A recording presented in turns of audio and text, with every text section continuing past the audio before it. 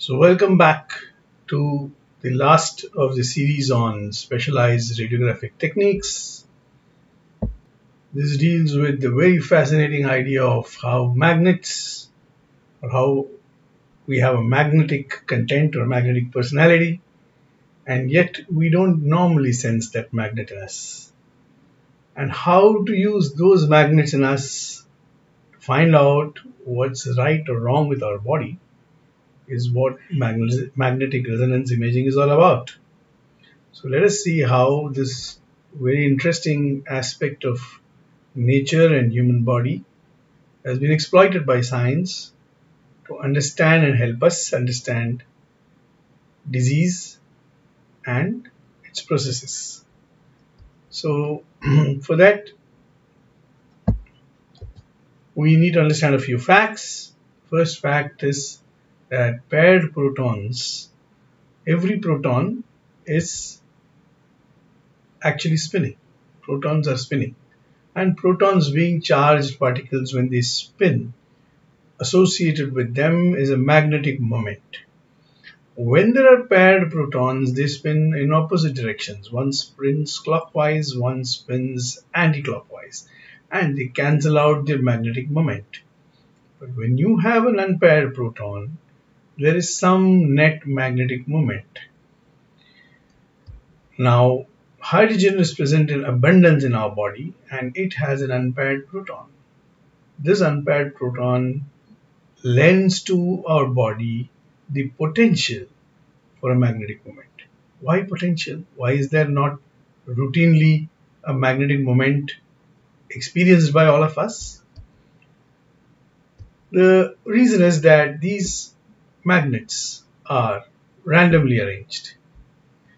It's only when we put them in a very strong magnetic field that they get aligned with the field, either exactly aligned or in exactly the opposite direction.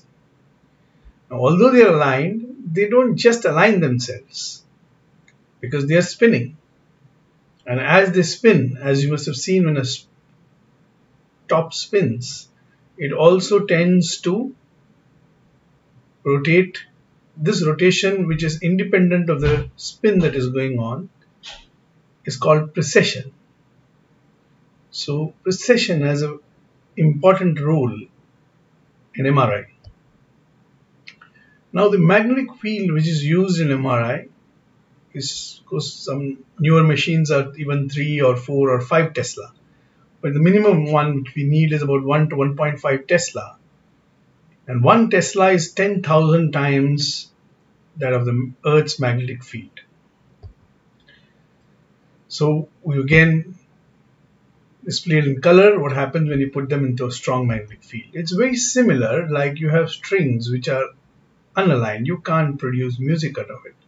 But when you align them very tightly along this and make them absolutely taut, then you can use this instrument or you can strum it and create music.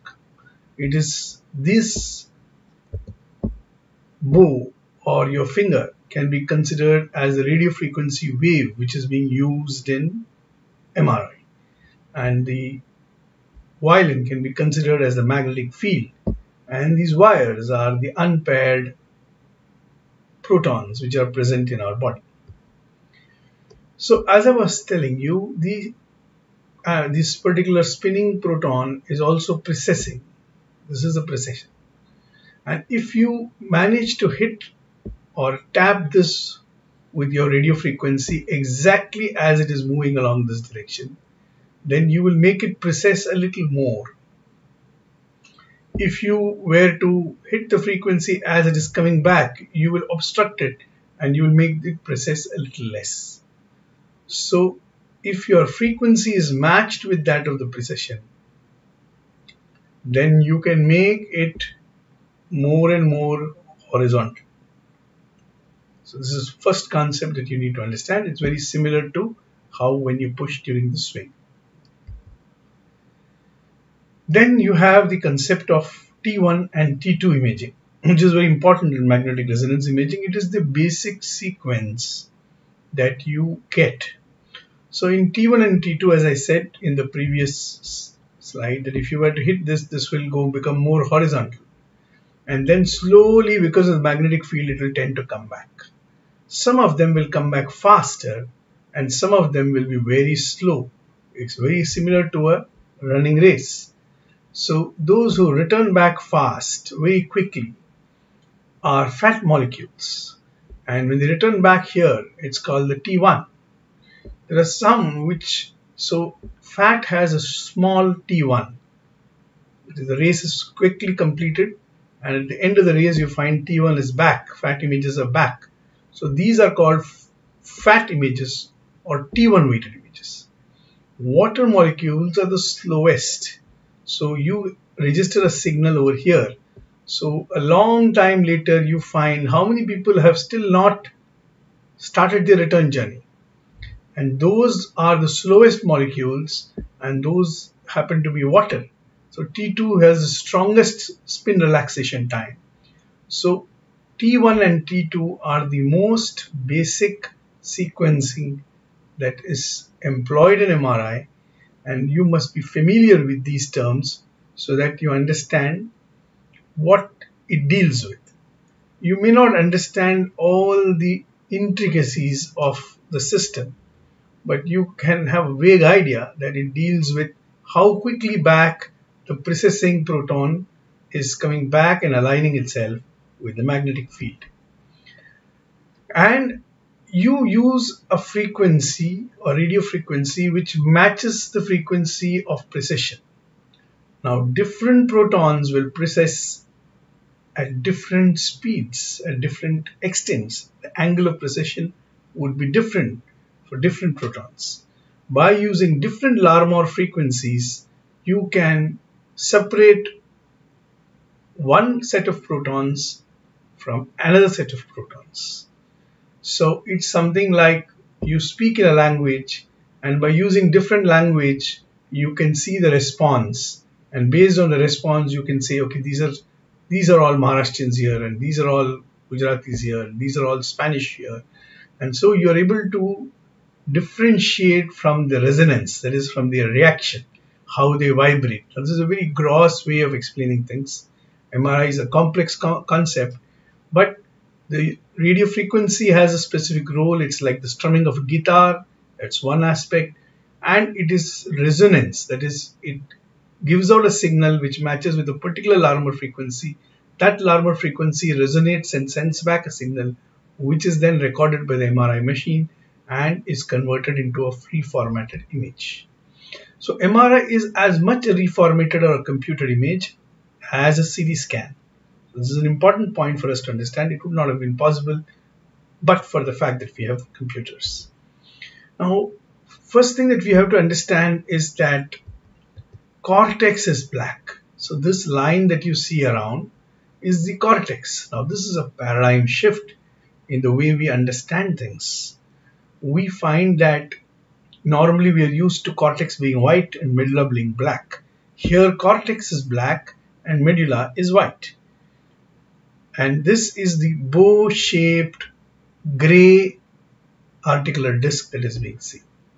So now we are in a position to study soft tissues and this becomes a complete paradigm shift. Now T1 weighted images or fat images are very good to study the anatomic structure of the tissue being examined. However, the T2 weighted images or the water images, water comes out a very powerful signal. Here there is effusion in the joint space and this effusion gives a very strong signal Strong signals are seen as white. Weak signals, such as cortex, are seen as black. Cortex is seen as black in both T1 and in T2 weighted images, whereas fat is a little whiter in T1 weighted images and water is distinctly whiter in T2 weighted images. So MRI is the method of imaging soft tissues. So we are again giving you comparison. This is the disc which is there. This is the cortex. This is the medulla. Here the medulla, the blood in medulla is reflected as a high intense signal Likewise, you have a T1 and a T2 weighted image. Here you're barely able to find out the pathology, although you can see that there is some pathology here. But in a T2 weighted image, it gets highlighted. So T2 weighted images are very good to study pathology. So here is a T1 weighted image and this is a gadolinium enhanced T1 weighted image and this is a T2 weighted images. So you can see that in all of them the tooth is black and the pulp spaces are white which again is a paradigm shift. So MRI interpretation becomes distinctly difficult because you need to reorient your thinking. Although the layout of the structures are in the anatomic arrangement, unlike the ultrasonography, MRI still poses a challenge to interpretation because you have to reorient your thinking and understand how each tissue reacts. You'll have to see whether it's a T1 weighted image, T2 weighted image, proton density image, and then you will have to draw your interpretation. We also have contrast agents, as I've already spoken. We have gadolinium, which is used as a contrast, and it changes the way the T1 signals are generated, thereby enhancing certain aspects of the T1 weighted image. So you have contrast agents in MRI as well. Only thing is they are not iodine based con uh, contrast agents. They are a different kind of contrast agent. So now we have three images. One of these three images is actually a CT scan. Now for those of you who find this difficult, you can see that here bone is white. When bone is white, it's a CT scan. When bone is not white, or in the center of the bone is white and the surrounding is black, it is MRI. So you have a T1 weighted image which shows salivary gland tumor here and here and the T2 weighted image delineates the salivary gland tumor in a much more distinctive manner. So we need to understand the T1 weighted images. So invariably minimum T1 and T2 weighted images are obtained for all soft tissue sections. Further sequences are there for specific conditions, be it the temporomandibular joint or certain specific soft tissues, which help us to delineate the pathology as per the need of the clinician. So there are a number of sequences and different frequencies, different repetition and echo times which help us come with different kind of MRI images. The advantages of MRI is that it has a fantastic contrast resolution for soft tissue. Soft tissue is seen the best in MRI. It has the advantages of sectional imaging because there is no superimposition.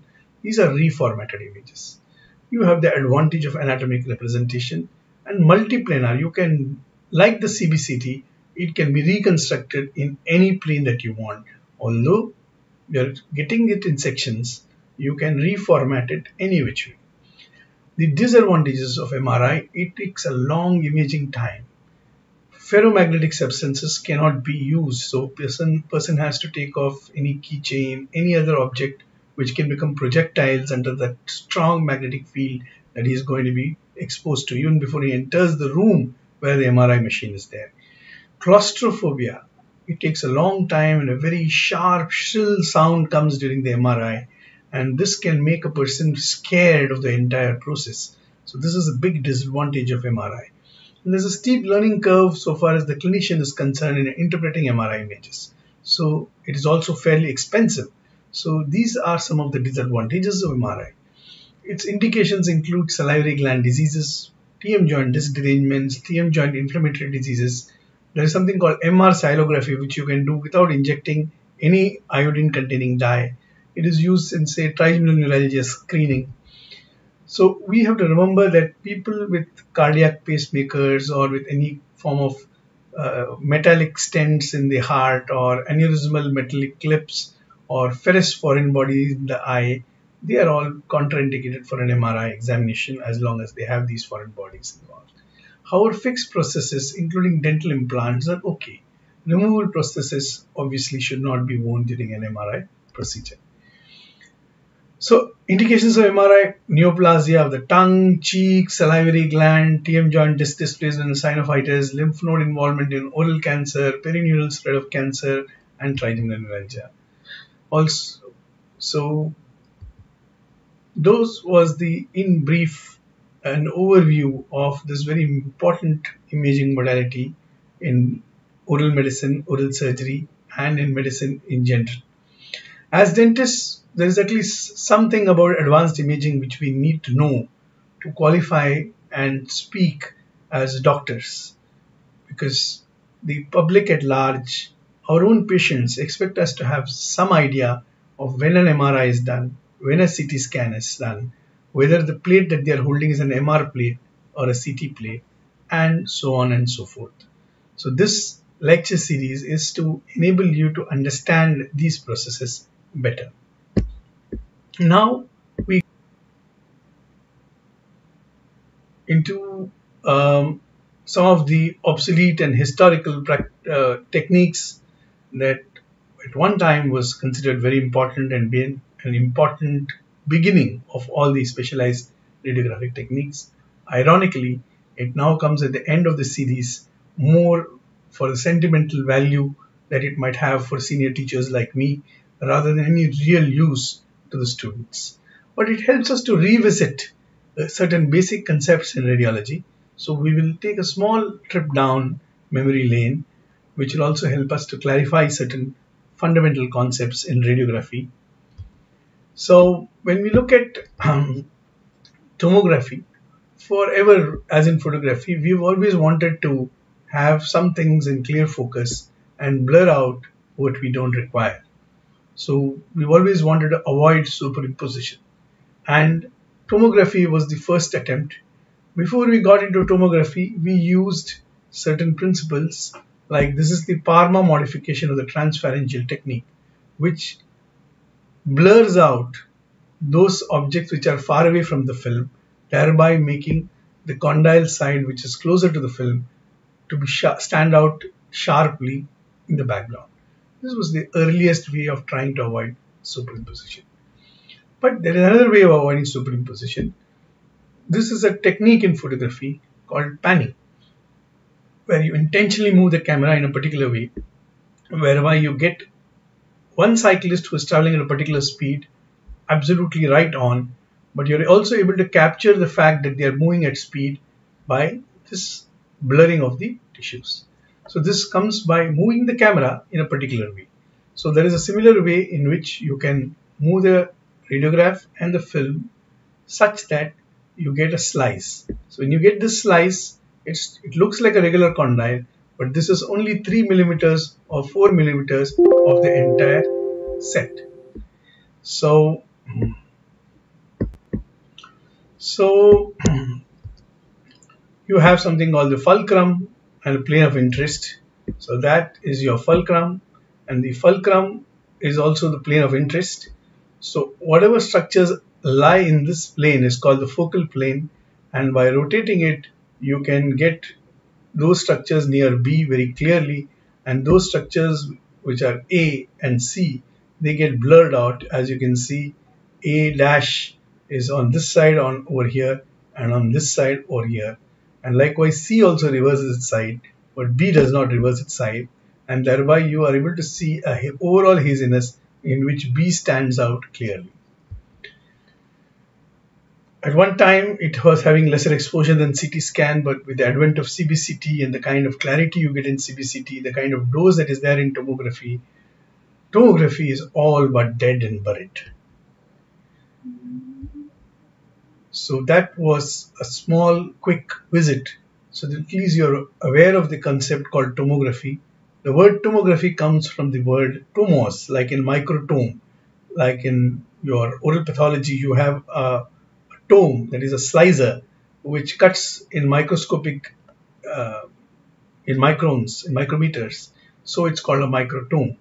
Likewise, this is a tome or a slice and a radiograph. So it's a tomograph. So tomography was at one time very important. From it was born scanography. From it was born OPG, and uh, but all this is getting obsolete. And it's the era of the new world, the era of CBCT, the era of digital imaging, and who knows, it may also be the era someday of dental MRI. So I do hope that I see a day when we find newer and newer technology bringing us closer and closer to understanding diseases, predicting its prognosis, and being more efficient as clinicians. It has been wonderful joining you in this first series of mine, which has been a learning experience, an experiment, and a joy for me. And I do hope that it has been a joy for you too. Thank you very, very much.